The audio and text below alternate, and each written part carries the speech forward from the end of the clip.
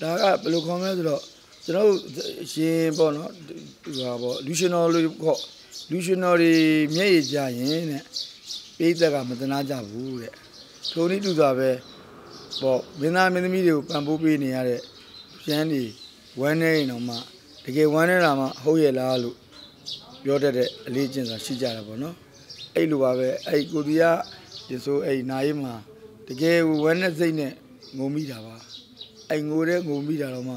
အဲ့မှာတချို့ comment တွေကပြုံးသလိုဖြစ်နေတယ်လို့ပြောနေကြတယ်အဲ့အတွက်ကြောင့်လဲဘယ်လိုခေါ်မလဲဆိုတော့ဟိုပို့ပြီးတော့ပဲ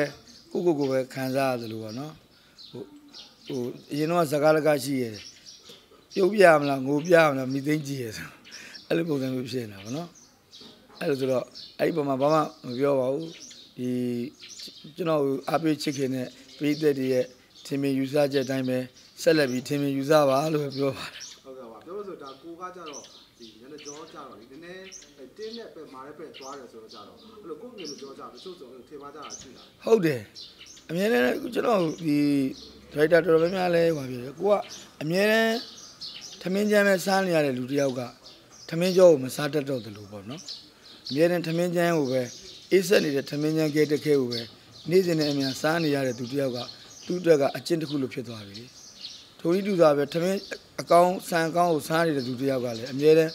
ဆန်အကောင်စားတဲ့သူတစ်ယောက်ကလည်းထမင်းချမ်းစားတဲ့ခါကျရင်သူ့အတွက်အဆင်မပြေနိုင်ဘူးပေါ့အဲ့လိုပါပဲမြေတံစကားတိုင်းစကားတိုင်းမှာသိရင်သိမသိအဖမ်းခံရနေရတဲ့နိုင်လူရဲ့ဒေဥဆောင်ချက်တွေကပေါ့နော်အများနဲ့ဒါမျိုးတွေကြီးပဲဖြစ်နေတယ်ဆိုတဲ့အခါကျတော့ကျွန်တော်ငိုပြရတယ်ဆိုရင်တော့မှငိုတယ်လို့ထင်မှာမဟုတ်ပါဘူးဟုတ်ဟုတ်ဒါကျွန်တော်ကြည့်သလားကသူတို့လည်း ဟိုကိုဘွားခက်ခဲတယ်ခက်ခဲတာကလူသိချင်တာအဲ့လိုပြောပြီးတော့သူ့ဆိုလည်းပြောမဆိုရင်လည်းကိစ္စကားလည်းပြောတယ်လေ့ချူကြတာရှိရပေါ့အာခုနကအဲ့လိုတွေသိမတွေ့ရအောင်အဲ့ဒါကိုပေးကိုဗီဇာဟိုအဲ့လိုမျိုးကိုခက်ခဲခြင်းနဲ့ခံစားခြင်းနဲ့ပုံပြတာအဲအခက်အခဲဟိုသုံးပြတတ်တာလားဆိုမိသားစုတိုင်းမိသားစုတိုင်းမှာတော့အခက်အခဲတွေဆုံးလို့ရှိကြတာပေါ့ဗျာဒါပေမဲ့ကိုယ့်အခက်အခဲကိုပြောရဲဆိုတဲ့အခါမှာဟိုတစ်ဖက်လူကအမှန်တကယ် ပြောတာလို့ထင်တဲ့သူရှိတယ်ဆိုရင်တော့အကြောင်းမဟုတ်ဘူးအဲ့လိုမျိုးမဟုတ်ဘဲနဲ့ဒါကြီးအမျက်ရည်ချူတာပါကွာဆိုတဲ့ပုံစံမျိုးပြောတဲ့လူတွေရှိကောင်းရှိမှာလေအဲ့ဆိုတော့ကျွန်တော်အဲ့လိုမျိုးတော့မပြောတတ်ဘူးကျွန်တော်တို့မှလည်းကျွန်တော်မိသားစုဒါမိသားစုသာဝန်တွေစီးပွားရေးချမ်းမာရေးဒါမျိုးတွေအခက်အခဲတွေရှိကြတာပဲလေဒီမိသားစုတိုင်းမိသားစုတိုင်းမှာအခက်အခဲဆိုတာအကုန်လုံးရှိကြတယ်အဲ့လိုကျွန်တော်ကတော့အဲ့လိုရေးသက်စီရနေပြီးတော့တနာအောင်အဲ့လိုမျက်ရည်ချူတာမျိုးတော့ကျွန်တော်မပြောတတ်ဘူး အရှိကိုအရှိတိုင်းကျွန်တော်ပြောတတ်တယ်ကျွန်တော်အချင်းကကျွန်တော်မလိမ်တတ်ဘူးကျွန်တော်မညာတတ်ဘူးကျွန်တော်ကိုရှိရှိတယ်လို့မျိုးကျွန်တော်ပြောတယ်မရှိမရှိဘူးပဲကျွန်တော်ပြောတယ်ဟိုတနာဖို့အတွက်ကျွန်တော်မျက်ရည်ချူတာမျိုးတော့ကျွန်တော်မလုပ်ဘူးအဲကျွန်တော်စိတ်ပေါ့လူသားတိုင်းကိုလူသားတိုင်းကိုလူသားဆန်တဲ့စိတ်ပဲကျွန်တော်ထားတယ်ကျွန်တော်ဟိုလူကောင်းဆိုပတ်စံရှိလို့ဘုံပကသနာရှိလို့ယာရုရှိလို့အဲ့လိုလူမျိုးကိုလည်းကျွန်တော်အထင်မကြီးတတ်တယ်လို့လမ်းဘေးမှာတောင်းရန်စားတောင်းနေတဲ့သူကိုလည်းကျွန်တော်တန်ဖိုးထားတယ် နောက်ဆုံးပြည့်စုံလုံနေတဲ့မိန်းကလေးတယောက်ပို့တော့မှကျွန်တော်တန်ဖိုးထားတယ်တခိုးကိုလည်းတန်ဖိုးထားတယ်တခိုးကဘာကြောင့်ခိုးရလဲသူမရှိလို့ခိုးတာလေတကယ်လို့ဒါသူ့မှာပြည့်စုံနေတယ်ဆိုရင်သူခိုးမှာမဟုတ်ဘူးသူ့မှာလည်းမိသားစုရှိတယ်မိသားစုစားမင်းတွေအတွက်ကြံမိကြံရကြံတယ်ရင်းနှီးရရင်းနှီးမရှိတော့ဒါမျိုးတွေရှိကြတာဘူးလူတိုင်းလူတိုင်းကဟိုကိုယ်ကန်တရားကန်တရားအကြောင်းတရားတွေပေါ်မှာမူတည်ပြီးတော့သူတို့အဲ့လိုမျိုးဖြစ်ကြတယ်ပြည့်တသာလုံနေတဲ့မိန်းကလေးတွေလည်း ကျွန်တော်တစ်ခါလေးကြံတယ်တနာမိပါတယ်သူတို့လည်းဖြူသလားမဲသလားမသိဟဲ့လားပိန်သလားဝါသလားမသိကိုယ်လည်းလည်းမသိကိုယ်နဲ့ချစ်ခင်ရင်းနှီးမှုလည်းမရှိတန်ရောက်တယ်လည်းမရှိဘဲနဲ့သွေးသားဆန္ဒတစ်ခုနဲ့ရင်းနှီးပြီးတော့ပြေးဆက်ပြီးတော့မိသားစုဝမ်းရေးကိုဖြည့်ရှင်းနေရတဲ့မိန်းကလေးတွေအများကြီးရှိကြတယ်အဲ့ဒီမိန်းကလေးတွေပေါ်မှာလည်းကျွန်တော်တန်ဖိုးထားတယ်သူတို့ဒီလည်းမလုတ်ချင်ပေမဲ့လည်းလုံနေရတယ်ဆိုလိုချင်တဲ့ဒီပြာလေအဲ့ဒီအတွက်ကြောင့်ကျွန်တော်လူကိုလူလိုပဲမြင်တယ်ဘယ်သူ့ကိုမှလည်းကျွန်တော်ဟို ဘလို့ဒီလူကဘာကြောင့်ဆိုတဲ့အဖြစ်ကိုမမြင်ရပါဘူးဒါကျွန်တော်ရဲ့စိတ်ပါဟုတ်အကိုကပြောမှဆိုရင်စကားရမှဆိုတော့လူမိုးခံရတဲ့နေရာတွေတိုးဆောင်ရတာများတာဆိုတော့အဲကြတော့အဲစကားရပုံရိပ်ကကိုယ့်ရဲ့အဖြစ်လူတွေဘုရားပေါ်မှာလာတက်ရောက်မှုရှိတာမရှိလားအဲလူနေမှုပေါ်မှာတရားမှုရှိတာဟိုလွန်ခဲ့တဲ့15နှစ်လောက်တောင်းရတော့ဗောနော်ဒီလမ်းသွားရင်မရင်းကောင်ကြီးဟိုမှာအဲကြာကူလီကြီးဗောနော်အဲ့လိုမျိုးတွေပြောရင်တော့ဟိုရင်ထဲမှာဟိုစိတ်မကောင်းဖြစ်မိတာဗောဒါပေမဲ့နောက်ပိုင်းကျတော့လေဟို ကြားပဲများတော့လေနားရင်သွားပါပြီဒါပေမဲ့အခုဒီနောက်ပိုင်းဒီ2000 2000ပေါ့2010လောက်နောက်ပိုင်းမှာကျတော့ဘယ်လိုတွေဖြစ်သွားလဲဆိုတော့ကျွန်တော်နားလေပါလေနားလေသွားကြတယ်အဲဒါကရုပ်ရှင်သဘောရလုပ်ငန်းသဘောရသူတရုပ်ဆောင်ရတာပဲလေးဆိုတဲ့ပုံစံမျိုးနဲ့ပေါ့နော်။ပြန်လမ်းမှာတွေ့ဟာအိုက်တော်ကြီးအဲဘယ်တဲ့ဟိုကကျွန်တော်လည်းဘယ်သူပဲဖြစ်ဖြစ်ပါအခုကျွန်တော်လည်းတစ်ခါမှမတွေ့ဘူးတဲ့သူတယောက်လမ်းမှာတွေ့ရင်လည်းကျွန်တော်စိတ်ထားလွန်ခဲ့တဲ့10စုနှစ်15စုနှစ်လောက်က ခင်မင်ရင်းနှီးခဲ့တဲ့လူတယောက်လိုပဲကျွန်တော်ဆက်ဆံတယ်ဘယ်သူပဲဖြစ်ဖြစ်ပါအကုန်လုံးပေါ်မှာကျွန်တော်လက်သားတွေပဲကျွန်တော်ဆက်ဆံပါတယ်ဟုတ်အခုကိုကျုပ်ဆောင်ခဲ့တဲ့ကားတွေဆိုင်ကြရခီစည်းစာကြည့်မိတာမျိုးရှိလားအဲရှိတယ်ကျွန်တော်တမီခီစည်းစာကျွန်တော်တမီ၃ယောက်ရှိတယ်လေဟုတ်အဲတမီအကြီးတွေနေကတော့သူကဟိုလောအကြောင်းပြင်ဦးလေးမှာတက်နေတာတမီကြီးကမတူတူဆိုအဲအငယ်ကမလွင်လွင်အောင်အလက်မလေးရနော်အငယ်ဆုံးလေးကမခစ်စည်းစာအဲဒါဒီမခစ်စည်းစာကျွန်တော် ဒါဒုတိယအိမ်အောင်နဲ့ကျွန်တော်ရတာပေါ့နော်ပထမအိမ်အောင်နဲ့သမီးနဲ့ကျွန်တော်ရအဲသူကကေစီစာကျွန်တော်ပါတဲ့ကားဆိုသူသိမကြည့်ဘူးသူတီးတဲ့အခုသူနည်းနည်းတီးတဲ့စာအရွယ်ရောက်လာသူကြည့်တဲ့ခါကသူအရန်တဝင်တူတာအဲကျွန်တော်ဦးနာဟိုဟိုပေါ့ break လောက်ရတဲ့ဇောဝင်ကမ်းပြီးပါလို့ဆိုရင်မိမိတွေ့တာပပညမဟုတ်ကောက်ကခန်းတွေရိုက်နေတယ်အဲအဲမျိုးပေါ့နော်သူသိမကြည့်ဘူးသူပြရင်လည်းဟာတီးရတီးရတီးရမကြည့်ချင်မကြည့်ချင်ပေါ့အဲ့လိုမျိုးအဲအဲ့လိုမျိုးပေါ့ဖေးပေါ်မှာတော့သူအရန်တဝင်တူတယ် အဲ့သမီးအငယ်ဆုံးလေးဟာကိုရာဘယ်လိုရှိလဲရှိတယ်ဘယ်လိုကိုကျုပ်ဆောင်ချက်တွေဟိုတတိယကြည့်တဲ့အခါမှာဟိုအသေးကတိုင်းလူတွေနဲ့ပုံအဲ့ဒါအားပြီးတော့ဆက်တာတယ်ကျွန်တော်ကတော့ခုနပြောသလို तू သမီးတွေဆိုလဲကျွန်တော်ပြောပြတယ်အလက်မဆိုတာအရွယ်ရောက်တဲ့အရွယ်ရောက်နေပြီနော်18နှစ်နဲ့ဆိုတော့သမီးကြီးသားထားခြင်းအဖေပြောအဖေပိုးပလင်းနဲ့ပြောဘယ်လိုခေါ်လဲလူတွေကသူ့ရဲ့အသက်အရွယ်ခန္ဓာဗေဒအရာပေါ့နော်စိတ်ပိုင်းဆိုင်ရာအရာဒီအသက်အရွယ်ရရင်ဘာဒီလို changes တွေသူ့ရဲ့ ခန္ဓာကိုယ်ရဲ့ပြောင်းလဲမှုတွေဟလာဇီဝကမ္မပြောင်းလဲမှုရှိတယ်သူ့ရဲ့ IQ ဘိုင်းတွေပြောင်းလဲမှုရှိတယ်သူ့ရဲ့အနေနည်းစမှုကြောင့်အထွေးခေါ်တွေအယူဆတွေကအများတန်းပြောင်းလဲနေကြတယ်အဲ့ဒီကိုအခါကျတော့အရာအလုံးပိုးပလင်းလေးနဲ့ပြောသမီးအဲ့လိုမျိုးပေါ့နော်ကျွန်တော်ဒီလိုပဲပြောပါတယ်ဟိုကျွန်တော်တို့ဘယ်လိုခေါ်မလဲဆိုတော့ဘဝဆိုတာကဟိုကိုယ့်ဘဝကိုယ်လမ်းကြောင်းအောင်မှာသူတို့အတီးတရားရှိအောင်တော့ကျွန်တော်ပြောတယ်သမီးတွေအတီးတရားရှိအောင်သူတို့ပြောပြတယ် ဒီရောက်တော့မလုတ်စေချင်ဘူးပေါ့နော်တကယ်လို့လုတ်ခဲ့တယ်ဆိုခဲ့ရင်လည်းဒါသူတို့ရဲ့ကံတရားသူတို့ရဲ့ဆုံးဖြတ်မှုကြောင့်ဒါမျိုးကြောင့်ဖြစ်တယ်လို့ပဲကျွန်တော်သတ်မှတ်ပါတယ်ဘယ်လိုပဲပြောပြောမိဘတိုင်းမိဘတိုင်းကတော့တာသမီတွေပေါ်မှာကောင်းစေခြင်းနဲ့စိတ်တွေဆိုရှိကြတာပဲလေဒါပေမဲ့ဟိုအခြေအနေအကြောင်းတရားမျိုးမျိုးကြောင့်မဖြစ်တဲ့မဖြစ်တိုက်တာတွေဟလာမလုတ်တဲ့မလုတ်အပ်တာတွေဖြစ်သွားတဲ့ဟိုမိကလေးလည်းရှိကြတယ်နော်အဲ့လိုဆိုတဲ့အခါကျတော့ဟိုအကြောင်းတရားအကျိုးတရားတွေနဲ့ပတ်သက်တာပေါ့နော် အဲ့လိုဖြစ်တဲ့အခါကျတော့ကျွန်တော်တို့သမီးတွေကိုဆူဆုံးမှအဲ့လိုပဲဆူဆုံးမှသူတို့ကတော့ဟိုအကြီးသမီးတွေကတော့ဘာမှမပြောပါဘူးအဲသူတို့ကတော့ဟိုအရင်တော့ငယ်ငယ်တော့သူတို့ရှက်တယ်ဗျသမီးအကြီးဆိုရင်သူလေးတန်းကျောင်းသူဘွားတော့ကျွန်တော်ကျောင်းသွားကြူအကျောင်းသွားကြူတော့အဲ့တော့ကျွန်တော်ဟိုအိမ်မာဒီအဲခိုင်းတဲ့ကလေးမလေးရတယ်မရှိဘူးပေါ့ဗျာအိမ်မှာမခေါ်ထားဘူးပေါ့အဲကျွန်တော်ကျောင်းသွားကြူတယ်အရင်နေ့တွေကတော့သူကခိုင်းတဲ့ကောင်မလေးနဲ့သွား အဲသူမလာတဲ့လေကြာကျွန်တော်သွားချူတော့ကြောင်အဖေဘာလို့လာချူရလဲဘာဖြစ်လို့လဲသမီးရဲ့အဲဟိုကတဲ့ဖေကလေးသမီးအကြည့်နေတယ်ပေါ့နော်အဲအဲ့ဒါမျိုးတစ်ခါကြုံဘူးတယ်အနောက်တစ်ခါကျွန်တော်နေကပြန်လာကျွန်တော်နေမှာဟိုဒီအက်ဆီဒန့်ဖြစ်တာ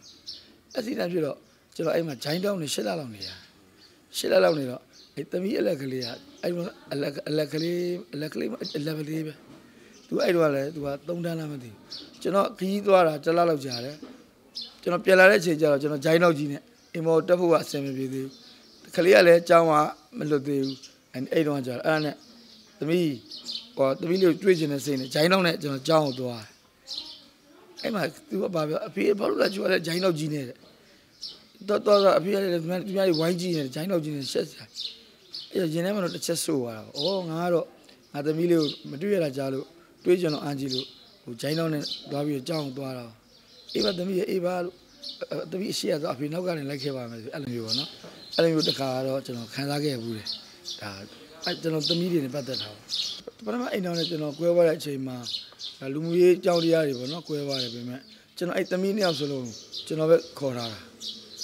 အဲ့စကွဲသွားတဲ့အချိန်တည်းကနေယနေ့ချိန်ထိပေါ့ကျွန်တော်ပဲခေါ်ထားတယ်ခေါ်ထားပြီးတော့အခုဒီကိုဗစ်ဒီပါဖြစ်တဲ့အခါကျတော့ အဲသူ့မိနဲ့ခဏသွားနေခြင်းနဲ့ဆိုတော့ကဲကျွန်တော်ကသွားနေရတယ်ဆိုပြီးတော့အခုသူတို့ဒီပြေးဦးလေးမှာသူတို့နေနေကြတယ်အဲအခုရောက်နေတာနှစ်နှစ်လောက်ရှိပြေးဦးလေးမှာသူ့အမိနဲ့သွားနေတာပေါ့နော်အဲဒီတိုင်းကတော့ဖုန်းကတစ်နေ့ကိုငါးကလောက်ဖုန်းဆက်တယ်နေတိုင်းဆက်တယ်အဲသူတို့လိုအပ်တာတွေလည်းကိုပံ့ပိုးပေးတာပေါ့ဟုတ်ဟိုတမီးအကြီးဆုံးလေးကကျတော့အိမ်အောင်ကြသွားတယ်အိမ်အောင်ကြတော့အဲတမက်ကလေးရောသူရောတမီးအငယ်အလက်ကလေးရောသူတို့ပြေးဦးလေးမှာသူတို့အမိနဲ့သွားနေကြတယ်ဟုတ်အခစ်စစစ်စာလုံးနေ နဲ့တွေ့ရကြတော့ခေစီသားတို့အမေနဲ့တွေ့တာကြတော့ကျွန်တော်ကပထမဒီလွန်ခဲ့တဲ့ဟိုပါခေစီသားနဲ့အမေနဲ့တွေ့တာဆိုလွန်ခဲ့တဲ့၈နှစ်ကပေါ့အဲ၈နှစ်ကသူလည်းပထမအိမ်လုံးရှိတယ်သူလည်းသားလေးတစ်ယောက်ရှိတယ်ကျွန်တော်အဲ့တော့တိုက်တရားဆရာတော်ဘုရားနဲ့ဒီကျွန်တော်ဘုရားတွေလိုက်တယ်ကျွန်တော်တော့ကျွန်တော်ဘုန်းကြီးဝတ်တော်လို့ပေါ့ဘုန်းကြီးဝတ်တော်မှာဆိုအမျိုးသမီးကအခုဒီခေစီသားတို့အမေကသူကအလှကုန်လုပ်ငန်းလုပ်တာပေါ့လုပ်တော့ဘာဟိုစီးပွားရေးအလုပ်လေးတွေကောင်းဖို့ဘာလို့ရေရာလေးတွေကောင်းလဲဆိုတော့ online မှာခင်းတာအခင်းတော့ဟိုရေရာလေးလုပ်လိုက်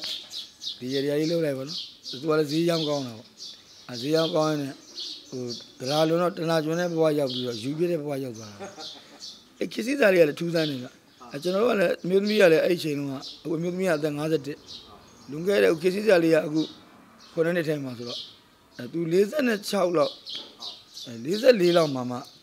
ဟိုကိုဝင်ရတဲ့သဘောပေါ့နော်အဲသူကသားလေးတယောက်သူကပါလာပြီးသားအဲကျွန်တော်တို့ကလည်းယူဖို့လည်းအစီအစဉ်မရှိဘူးပေါ့ ခစ်စီသားတွေက44မှာသူ့ကိုမွေးတာအမျိုးသမီးတွေကကျမ်းမာရေးအရာ44လောက်ကျရင်မွေးဖို့အဆင်မပြေဘူးဒါပေမဲ့ထူးဆန်းတာဒီခစ်စီသားလေးကဟိုထူးထူးခြားခြားလေးကိုရခဲ့တာပေါ့နော်ရခဲ့တယ်ဆိုတဲ့အခါကျတော့လေအခုချိန်ထိပေါ့ဟိုသူကလည်းသူ့ပိဋကနဲ့သူအဲ့လိုအဲ့လိုသူကိုတော့သူကကြောင်ညာရောဟိုတနေ့တော်တော်ရိုက်တယ်တည်းလေစိတ်နဲ့တော်တို့ဘာကိုရိုက်တယ်နောက်ထက်ထက်မဟုတ်နဲ့အချုံမုတ်ကြောင်ညာရိုက်တယ်အခုတော့အိမ်မှာသူစာခေါ်တယ်နဲ့ဆရာမနဲ့ ဒါဥပဒေနဲ့လည်းရှိတဲ့အတိုင်းတို့ကပြေးထားတယ်ဒါစစ်စာလုံးတွေကဘဝအတွက်ကနောက်ဆုံးအိမ်အောင်လဲလို့ပြောတာဆိုတော့ဘယ်လိုကားနဲ့ပြောပြတာအဲဒါကတော့လည်းကျွန်တော်တို့ကသူကျွန်တော်တို့ကဟိုခန္ဓာပိရရဒီသွေးသားဆန္ဒရအိမ်တော်ပြုခဲ့တာမဟုတ်ဘူးပေါ့နော်သူလည်းဘဝအတွေ့အကြုံတွေအများကြီးရှိခဲ့တယ်ဒါ40ကျော်44ပေါ့နော်ကျွန်တော်လည်းဒီ40နဲ့43ပေါ့အဲ့ဒီရွယ်မှာမှာကျွန်တော်တို့အဲကျွန်တော်ကျွန်တော်လည်းသူကနည်းနည်းကြီးတာကြီးတော့အဲတွေ့တော့ခန္ဓာကိုယ်ဝယ်စည်းတိဆောက်ပုံရသွေးသားဆန္ဒကြ ဟိုယူကြတာမဟုတ်ဘူးအသက်အရွယ်ပိုင်းကတန်ရောက်စင်ဆိုရင်မေတ္တာတရားကိုအခြေခံပြီးတော့ဗောနော်အဲတူရဲ့ခက်ခဲကိုတူကူညီပေးမယ်တူကျမ်းမိုင်မကောင်းရင်တူဆောက်ရှောက်ပေးမယ်အဲအဲ့လိုစိတ်ကအဓိကပါသူကလည်းခီးတွေသွားတယ်သူကသူ့လုပ်ငန်းနဲ့သူပေါ့လေကျွန်တော်လည်းကျွန်တော်လုပ်ငန်းနဲ့ကျွန်တော်ဒါပေမဲ့ဟိုကျွန်တော်ကဟိုတစ်ခါကျွန်တော်တစ်ခါကျရင်ဆိုးတယ်ဆိုတာတခြားအဲ့လိုဆိုးတာမဟုတ်ဟိုတော်ဝင်တူစိတ်ကျွန်တော်အဲ့တော်တော်ကြီးတယ်ပြီးတော့တစ် ခါတလေကျတော့လေဟိုတောက်စားရပြီးသွားတဲ့ခါကျတော့သူ့ကိုရစ်တဲ့ခါရှိတယ်ဒါပေမဲ့ဘလို့ပဲပြောပြောဟိုကျွန်တော်ပေါ်မှာအနစ်နာခံတယ်အနုနာခံတယ်အဲတခါလေးကျရင်မူကြီးအောင်ဆောင်ပြီးတော့ဟိုသူမေးတာစကားပါညာပြောရဲဆိုတဲ့ခါကြီးကျရင်လည်းကျွန်တော်ပေါ်မှာသူတော်တော်လေးဟိုနင့်နာခံတာပေါ့ဗျာအဲ့အတွက်ကြောင့်ဒါနောက်တစ်ခုကအသက်အရွယ်ပိုင်းအရာလေကျွန်တော်လည်းဥဒါကျွန်တော်ဆိုတာ48 48လောက်ဖြစ်လာတဲ့ဆိုတဲ့ခါကျတော့နည်းနည်း stable ဖြစ်ရတော့မယ်လေအဲ stable ဖြစ်ရမယ်ဆိုတဲ့ခါကျတော့ ဟိုဒါကသူကကျွန်တော်ဘဝရဲ့ဒါနောက်ဆုံးအိမ်နောင်လို့ကျွန်တော်သတ်မှတ်တာပါအဲ့လိုပါ အမအဖြစ် အဲ့တော့ तू ကအိမ်မှာဘယ်ရင်သွားကြည့်တော့ဒီလက်ကလာမှာတဲ့အိမ်တော်ကြီးကွဲချောင်းရှိတယ်ပေါ့နော်ဆ iam မအဲ့လိုပြောတယ်ဘာလို့ရမလဲဆိုတော့အဲ့လမ်းကြောင်းပြတ်ဖို့တော့ကအစစ်အပြော့သားပါဗျာဟိုကျွတ်လို့တတ်တဲ့ဟာမျိုးပေါ့အဲ့ဒါနဲ့လုံးဝရမယ်ဆိုတော့ तू အဲ့ဒါလေ तू ကအဲ့အစစ်ပေါ့ဗျာအဖျားလေးပေါ့အဖျားလေးအဲ့အစစ်ပလင်းလေးကိုတိတ်ပြီးတော့အဲ့အကြောင်းပေါ်တင်လိုက်ကြတယ် share ကနေပြီးစားသွား အသားအစားထော်ပါအဲ့လိုမျိုးပြီးတော့6နေရလောက်လောက်ရတာပေါ့နော်သူပြန်လာတော့လေသူလက်တွေဇက်ဇက်ဇက်ဇက်တော့အဲ့မဘာဖြစ်လာတာလဲကသူကဒီလိုဒီလိုလောက်လဲဆိုတော့ဩသူကျွန်တော်ဘာမှအဲ့လောက်ရှစ်တယ်ပေါ့နော်တောင်းတန်မိန်းမတွေအဲ့လောက်ယူတော့လုံးမယ်လို့မထင်ဘူးပေါ့နော်အဲ့ဒါပြီးလဲပြီးတော့ဆရာမပြောတယ်တဲ့ဟိုကိုနိုင်တို့လည်းကြည်ကျင်တယ်လို့ပြောတယ်တဲ့အဲ့ကျွန်တော်လည်းလိုက်တော့ကျွန်တော်လည်းဟုတ်တယ်တဲ့မကွဲလန်းကြောင်းရှိအမလီတို့က ဒါမဲ့ကျွန်တော်ကသူတော်မှလှုပ်ရဲသေးတာပေါ့ဗျာကိုကလည်းဟိုနာတော့နာတော့ကျွန်တော်အဲ့မှာကျွန်တော်လည်းလှုပ်လိုက်ရသေးတယ်ဟောခဲမိတယ်ငရဲမိနေပဲဘာဖြစ်လို့တူတောင်လုရဲသေးတာပေါ့နော်ကဲလှုပ်ဟာလို့ငါလည်းဟိုဖြစ်တော့ဟာကွာဇက်ဇက်ကိုခါနာဟုတ်ကဲ့အဲ့တော့မှကိုချင်းစာမိတာပေါ့နော်သူလည်းနာရှာမှာပဲပေါ့နော်အဲ့ဒီသဘောပါဟုတ်အဲ့တော့သူ့ရဲ့အချစ်ကိုဘယ်လိုမျိုးလေးစားသွားလဲကိုယ်ပေါ်ထားတဲ့အချစ်ကျွန်တော်ပေါ်မှာအဲ့လိုမျိုးကျွန်တော်အဲ့လိုလုတ်ပေးတဲ့လူမျိုးမရှိခဲ့ဘူးလေ အဲအဲ့ဒီအတွက်ကြောင့်လဲကျွန်တော်ကသူကလေးလေးမွေးတဲ့ဒီသမီးလေးမွေးတဲ့အချိန်မှာကျွန်တော်တို့ဆေးရုံ30နဲ့4ရက်လောက်တက်ရဆေးရုံ3ရုံပြောင်းသွားယောဂရှာမယ်လို့ခါချင်းစီလည်းဖောက်ထားအမျိုးသမီးကအဲ့မှာအဲသူတို့ဟိုပါပေါ့တခြားမိဘတွေကသူတို့သူတို့နဲ့ညီမတွေကတော့ဒါဟိုအသက်ဆုံးရှုံးနေဆုံးရှုံးမစီတော့ဘူးအမဟုတ်ကျွန်တော်ရှိတဲ့စီစဉ်ကိုရင်ကောင်းစီဂျုံခံပြီးတော့ဆက်မယ်စေးကူပေးမယ်ပေါ့နော်အဲကျွန်တော်ကားရောက်နေကားရောက်ပြီးတော့စေးကူတယ် ကျွန်တော်ကားလေးရောက်လိုက်တယ်ဒီနီနီတက်ခွက်ကန်အသိတဲ့အတိုင်းပဲလေနေတိုင်းတွေးစေရတယ်ကုန်ကြောင်မှုစိတ်တွေရှိတယ်ဒါထမဘုံမျိုးသမီးစေုံဘုံမျိုးသမီးစေုံကနေပြီးတော့ဒါကကျွန်တော်တို့စေုံကြီးစေုံကြီးကနေပြီးတော့မှယောဂတိလို့ဆိုတော့ဂရင်900အဲ့မှာ34ရက်အဲ့လူနာဆောင်တဲ့ခုံလေးမှာငုတ်တုတ်ထိုင်ပြီးအေးရအဲ့မှာသူကောင်းသွားတယ်ဗောနော်ကောင်းဖျားတရားကိုကျေးဇူးကြောင့်လည်းပါပါတယ်ဒါကောင်းသွားတယ်ကောင်းသွားတော့အဲ့မှာသူကလည်းစေးဝင်ဆင်းလာတော့ဒုတိယကိုအဲဒုတိယအသက်ကိုတဲ့ ကိုပြီးတဲ့စိတ်နဲ့သူရှင်သန်အောင်မယ်တဲ့အဲ့လိုမျိုးလေးပို့တွေသူကချုပ်တာချုပ်တာချုပ်ွက်တယ်အဲ့အဲ့လိုတွေပါသူကကျွန်တော်အဲ့လိုပြဿနာရှာလို့မရှိဘူးသူကအနေအေးတယ်မျိုးသမီးကသူကဒီစာဖတ်တာများတယ်ဘယ်လိုကောင်းလဲပညာလက်တက်တာဟုတ်ဟုတ်ကဲ့အဲဘွဲနှစ်ခုသုံးခုတော့သူကရထားတော့အဲသူကအဲ့အသားကြီး cosmetic လုပ်ငန်းမှာလုပ်တယ်ဟုတ်ပေါ့နော်ကျွန်တော်ကုမ္ပဏီဟိုအရင်တော့သူကကုမ္ပဏီဝန်ထမ်းပေါ့နော်အခုကျွန်တော်တို့ပြီးတော့ကျွန်တော်တို့မှကျွန်တော်တို့ကုမ္ပဏီထောင်ပြီးလုပ်လိုက်သေးတယ် အဲပြီးတော့ကျွန်တော်သိန်း600လောက်ကျွန်တော်တို့ဆုံးရှုံးသွားဘူး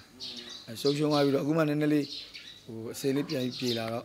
အဲကျွန်တော်ဒီမှာအခုဒီဆိုင်ကတော့ဒါဟို share တွေပုံစံမျိုးနဲ့ကျွန်တော်အမြင်ခံပြီးလုပ်ပေးတာဟုတ်အာကားရကတော့ဒါသူဂျပန်နဲ့ဖြစ်သေးတယ်ကာယက်ကတော့ဟိုပါပေါ့ကျွန်တော်ဒီပြီးခဲ့တဲ့တစ်လလောက်ကကျွန်တော်မန္တလေးမှာကျွန်တော်ကျွန်တော်ကိုယ်တိုင်ရေးတဲ့စာသားလေးနဲ့ကျွန်တော် MDB day တစ်ပုတ်သွားရတယ်။နောက်ဟိုတလောတော့ကဒီဟိုဟာအမေနဲ့သမီးများဆိုတဲ့အဲတမ ဟုတ်တယ်အဲ့ဒီဟာလေးကိုစပယ်မိုးနဲ့ကျွန်တော်စပယ်မိုးလို့ချက်မှာကျွန်တော်ဇလန်တူလေးတွေသွားရတယ်။သူနဲ့ပေါ့နော်ကျွန်တော်ဇလက်အပိုင်းတူလေးတွေ၅ပိုင်း၆ပိုင်းလောက်ကျွန်တော်သွားရတာအာကားရကြတော့ဟောအခုဒီမှာကြတော့ဟိုအရင်လိုမျိုးအဲ့လိုစိုးဝမိုက်ကားကားကားရိုက်စစ်သေးတယ်ဘယ်လိုလဲရိုက်အဲကျွန်တော်အခုလောလောဆယ်ကတော့ပြောမလို့အကွယ်ကျွန်တော်ခန္ဓာကိုယ်တစ်ခုလုံးမှာကောင်းတဲ့နေရာတင်နေရာမှမရှိဘူးကျွန်တော်ရိုက်ကွင်းမှာအက်ဆီဒန့်ဖြစ်ခဲ့တဲ့ဟာတွေပေါ့ကျွန်တော်ရာသီဥအရန်အေးကျွန်တော်ကောင်းတစ်ချက်ကြိုက်တယ်လက်တစ်လုံးချိုင်တာပေါ့ ဟိုမင်းသားမင်းသားတွေကဟိုမင်းသားတွေနဲ့အများနဲ့ကျွန်တော်ကဟိုကိုခံရတဲ့ခံရရတာလေအဲ့လိုမျိုးနောက်ခြေတော့ကလည်း operation လုပ်တာလေဒူးစစ်ကဒူးနှစ်ဖက်စလုံးပြုတ်တာရိုက်ကွင်းမှာအဲ့လိုမတော်တဆဖြစ်တာတွေပေါ့အဲနောက်ဒီနိုင်ရိုးကျွန်တော်အကျိုးလာတွေရှိတယ်အရင်ခုံမောက်ပြေလို့ရတဲ့ဟာမျိုးတော့ကျွန်တော်သိမရိုက်ချင်တော့ဒီအထိုင်ပေါ့နော်အငြိမ်ပေါ့ item mind နဲ့ပတ်သက်ပြီး item movement ပတ်သက်ပြီးတော့ကျွန်တော်ဘယ်လိုလုပ်ရမလဲအဲ့လိုမျိုးဆိုရင်တော့ဒါလုပ်တာပေါ့ဒါပေမဲ့ဟို တကယ်တကယ်နေလားကလားမဖြစ်မနေမှရိုက်ရမယ်ဆိုတော့လည်းရိုက်ရမှာပေါ့ဟုတ်ဂျွန်ကိုနဲ့ကြတော့ကျွန်တော်ကဟိုဘယ်လိုစုံမှုရလဲဆိုတော့ဂျွန်ကိုနဲ့ကျွန်တော်ကကား100နီးပါးလောက်ကျွန်တော်ရိုက်တယ်ကား100နီးပါးလောက်ရိုက်တယ်ရိုက်တော့ဒီကလေးလေးကမင်းသားစဖြစ်တာကျွန်တော်တို့နဲ့စပြီးတော့တွဲပြီးတော့ဖြစ်တာသူက16နှစ်သားနဲ့အသက်ငယ်ဆုံးမင်းသားလေးပေါ့နော်သူအဲ့ဒီမှာသူကဟိုဘယ်လိုခေါ်မလဲဆိုတော့သူ့ဖေကဥထက်ပိုင်း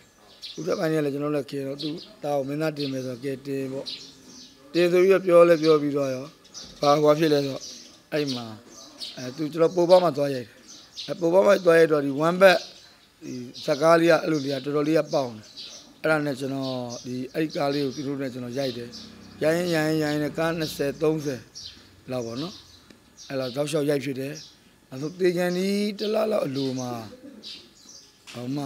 ဟိုသူနဲ့ကျွန်တော်တွေ့တယ်။အဲ့ကလေးတွေတနာပါတယ်။အုံနောက်ဟောပေါ့မူတက်တဲ့ယောဂပေါ့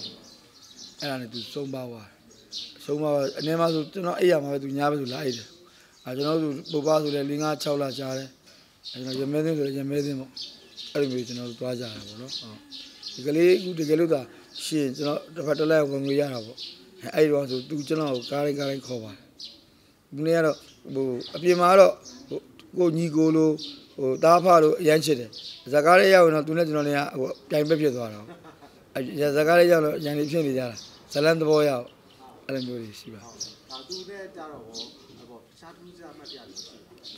။သူနဲ့ဒါတူတူချာချာလေးတွေကဘာရှိလဲဆိုတော့အဲ तू က तू ဘီယာတော့ तू မူးလာရင် तू ကလိုက်ကြိုက်တာဗျ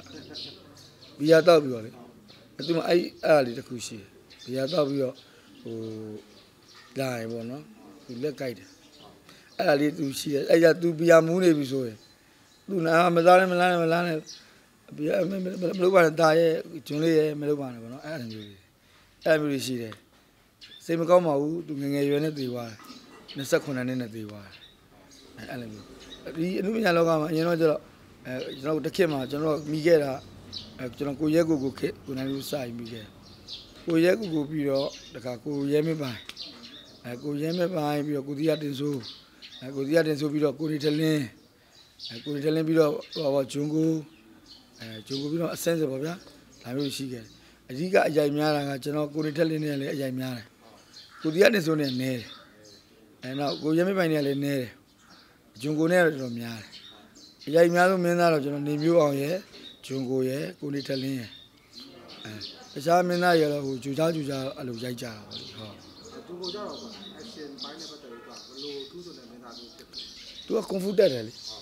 သူကနားလေကလေးကလေးကကြိုးစားတယ်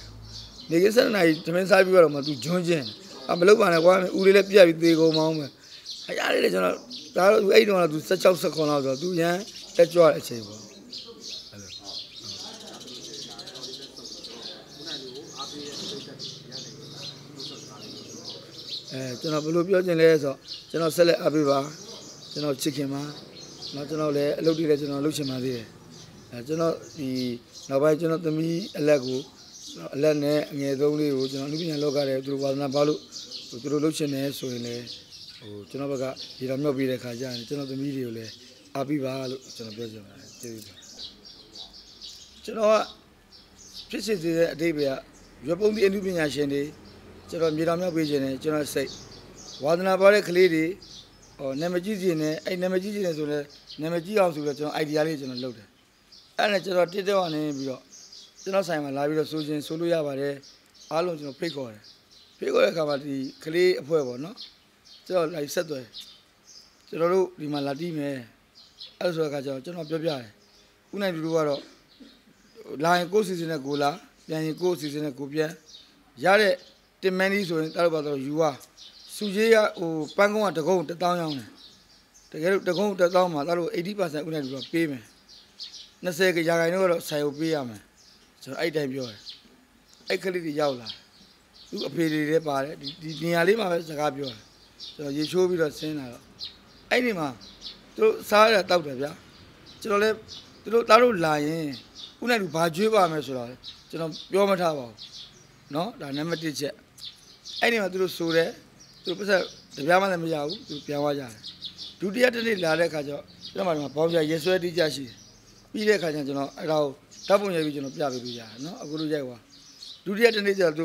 ပန်းကုန်းနှစ်ကုန်းရတယ်နော်ပန်းကုန်းနှစ်ကုန်းရတော့2000ပြပန်းကုန်းနှစ်ကုန်း2000ဆိုတော့သူတို့80ရာခိုင်လို့ဆိုတော့16000 16000ပေးလိုက်တယ်ကျွန်တော်ဒီကဒီဟိုဝေးဟိုဆင်းဟိုပေါ့ကောမချက်ချက်လေးမှလေးရပါတော့ဒီ16000ပေးလိုက်တယ်တက်တရက်တနေ့ကျတော့သူတို့ကျွန်တော်မေးတယ်ဘယ်လောက်ပြတော့9000 6000ပေးလိုက်တယ်တဲ့သူတို့ပန်းကုန်း နဲ့ဟိုတဲ့စူချင်းနဲ့နှစ်ခုပေါင်းကို9000 6000ရတယ်အဲ့ပေါင်ချတဲ့အခုဒီမှာလက်တွေ့ကြကြရှိပါတယ်စတုတ္တတနေ့ကျတော့ကျွန်တော်ဒီကင်းဆက်တဲ့လောက်မှာတားတို့အဆင်ပြေလားလို့မေးတော့ဒီနေ့ရောလာမလားဆိုတားတို့ဘယ်လိုလဲအဆင်ပြေလားဆိုခုနိုင်လူတဲ့ကျွန်တော်တို့ကတညဟိုတဲ့တသိန်း2000ဒါမှမဟုတ်တသိန်းခွဲပေးမှလာမှအဆင်ပြေမယ်တဲ့သူများဆိုင်တွေမှာ FOC 2000ကျွေးတယ်တဲ့အဲ့တော့ကျွန်တော်ကလည်းပြောပြတယ် FOC လေး2000တော့ဥနဲ့လူကျွေးပြီးလို့ရတယ် တသိန်း2000တသိန်းခွဲကြတော့ဥနဲ့လူလည်းမပေးနိုင်ဘူးလို့အစင်မပြေဘူးဆိုလဲဥနဲ့လူရတယ်အာမနာနဲ့တော့ကျွန်တော်ဒါပဲပြောခဲ့အဲ့အချိန်မှာခလေးမလေးတယောက်ပါအခုဒီအေဂရီလာအဲ့သူကဖုံးဆက်လာဥနဲ့လူရဲ့တမိအဖွဲရှိတယ်ပါအေးအဖွဲရှိတယ်ဆိုလဲဆိုအဲ့မှာကျွန်တော်တို့အဲ့ခလေးမလေးကဆိုတယ်သူလည်းကျွန်တော်တို့အချိန်နဲ့ဟိုဟိုပထမ၃ရက်ရသလောက်ပန်းကုန်းလေးတွေကျွန်တော်ပေးတယ်သူ့ကိုပေးခဲ့တဲ့ဘောင်ချာကြီးလည်းဒီမှာအကုန်လုံးဒီလေးရှိတယ်နော် ပြီးတော့၄ရက်မြောက်၅ရက်မြောက်လောက်ကျတော့ဦးနိုင်လူတဲ့တမီးတို့ FOC လေး2000လောက်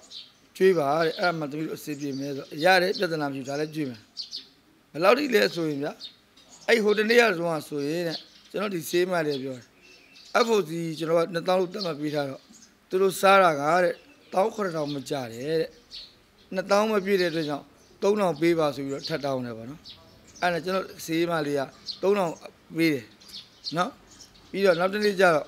ကျွန်တော်လည်းနေသွားတယ်နေသွားကျွန်တော်မင်္ဂလာဆောင်တစ်ခုဧည့်သည်တကယ်ချင်းမင်္ဂလာဆောင်တစ်ခုသွားတော့ကျွန်တော်မသိလိုက်ဘူး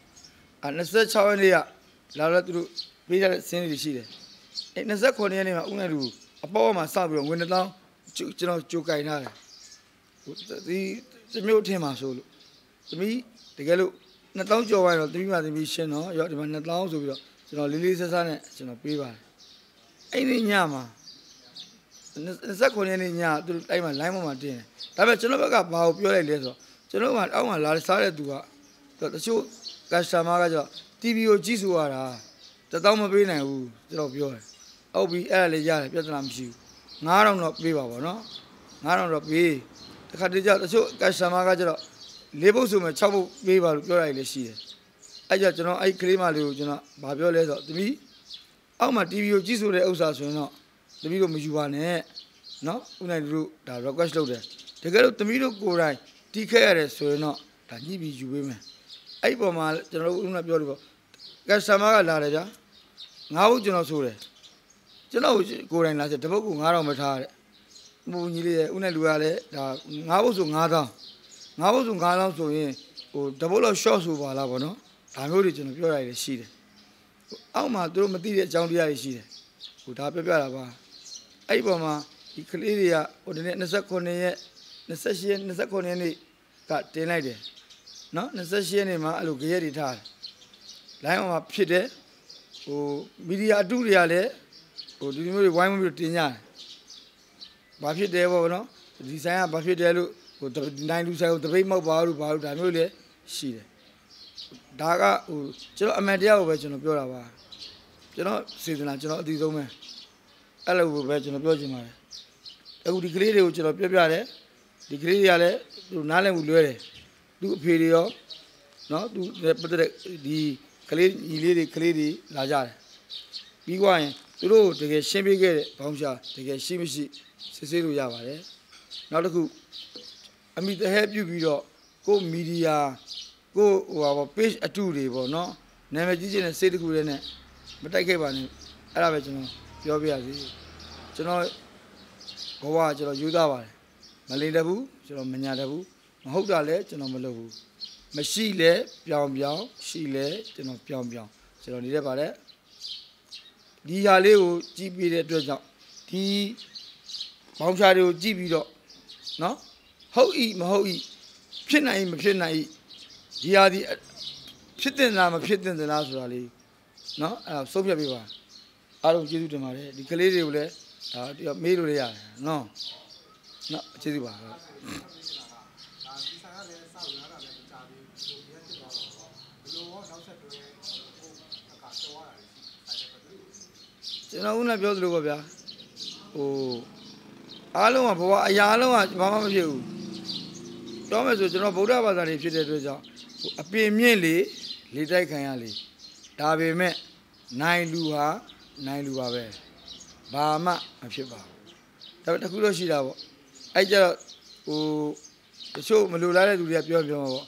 အနိုင်လူကအင်အားကြီးလို့အနိုင်လူကတော့ဘာဖြစ်လို့နိုင်လူကတော့လက်တန်ရှည်လို့နိုင်လူကမြေပေါ်မြေအောက်အတိုင်းဝိုင်းကြီးလို့ဒါမျိုးတွေကြောင့်ဟိုဒီကလေးတွေကမှန်ရည်သန်းနဲ့ဟိုအမားပါတယ်ဆိုပြီးပြောမိတဲ့လူတွေလည်းရှိကောင်းရှိမယ်အဲ့ဒီဥစ္စာကိုဟုတ်မဟုတ်ဆိုတာကိုဒီကလေးတွေရော ကလေးကိုအုပ်ထိန်နေတဲ့အုပ်ထိန်သူတွေရောရှင်းပြပါလိမ့်မယ်နော်ဆက်လက်ရှူသားပါလို့ဒါပဲကျွန်တော်ပြောပြရတယ်ဒီလိုဒါတော့ထပ်ပြီးတော့ဒါထပ်ပြီးတော့မှဒါကိုဒါတမင်းနေတဲ့ပြည့်စက်တွေရောရဲတယ်ကျွန်တော်ဖုန်းနံပါတ်ပြောပြီးသွားပါပြီကျွန်တော်ဖုန်းတစ်လုံးမကင်တယ်ဘာဖြစ်လို့လဲဆိုတော့ချိတ်ဆက်ဝင်းဆက်ဟာမှာဆိုလို့ကျွန်တော်ကင်တဲ့ဖုန်းနဲ့39 250 4929ကဒီတစ်လုံးမဲ့ကျွန်တော်ကင်တယ် တခါတည်းတည်းကြာရင်အအပေါ်ဖအောက်ဖိဆိုတဲ့အကွက်မျိုးတွေလောကကြီးမှာရှိတတ်တယ်ကျွန်တော်ဒါမျိုးအဖြစ်မခံဘူးကျွန်တော်ဒီဖုန်းတစ်လုံးမကင်တယ်ဒါပေမဲ့တခုတော့ request ကျွန်တော်ဘာလို့လုပ်ချင်လဲဆိုတော့ကျွန်တော်ည3နာရီ4နာရီမဆက်ပါနဲ့ကျွန်တော်တောင်းပန်ပါတယ်ဒါပေမဲ့ကျွန်တော်ကတခိုးကျွန်တော်တခိုးတယောက်ကအဲ့ကျွန်တော်ဖုန်းကိုဆက်လဲကျွန်တော်ကင်တယ်လူတိုင်းပေါ်မှာကျွန်တော်တန်ဖိုးထားတယ်ပြည်နယ်စာတယောက်ကကျွန်တော်ကိုဖုန်းဆက်လဲကျွန်တော်ကင်တယ်တမရတယောက်ကကျွန်တော်ဖုန်းဆက်လဲကျွန်တော်ကင်တယ် လူတိုင်းပေါ်မှာလူသားဆန်တဲ့ဝါဒတစ်ခုနဲ့ကျွန်တော်နေတယ်ရှက်တည်တယ်ဘယ်ဖုန်းပဲဖြစ်ဖြစ်ကျွန်တော်ကင်တယ်ပြီးရင်ကျွန်တော်ပြန်ဆက်တဲ့ဥစ္စာကိုကျွန်တော်ပြန်ဆက်ပြီးတယ်ကျွန်တော်ဖုန်းကိုလည်းဆက်သေးတယ်ဒီဖုန်းကဘယ်ရောက်နေလဲလို့မေးတဲ့အခါကျတော့ကျွန်တော်ဘယ်လိုဖြေရမလဲဒါမျိုးတွေရှိတယ်အဲ့အတွက်ကျွန်တော်ကိုနားလဲပေးပါကျွန်တော်ချစ်တဲ့အတွက်လည်းအားလုံးကျေးဇူးတင်ပါတယ်ဒါပေမဲ့တစ်ခုတော့ရှိတယ်ကိုယ်စိတ်ကဖြူစင်တဲ့စိတ်နဲ့အဖြူရောင်ဘောလုံးနဲ့နန်းရန်အဖြူကိုပေါက်မှအဖြူရောင်ရဲ့တုံ့ပြန်မှု တရားကိုပြန်ရမယ်ဆိုတော့ကျွန်တော်လက်ခံထားတယ်အဲ့အတွက်ကျွန်တော်ကိုဖြေတဲ့အဖြေကိုအဆုံးဖြတ်ပေးပါဒါပဲကျွန်တော်ပြောချင်တယ်အားလုံးကျေးဇူးတင်ပါတယ်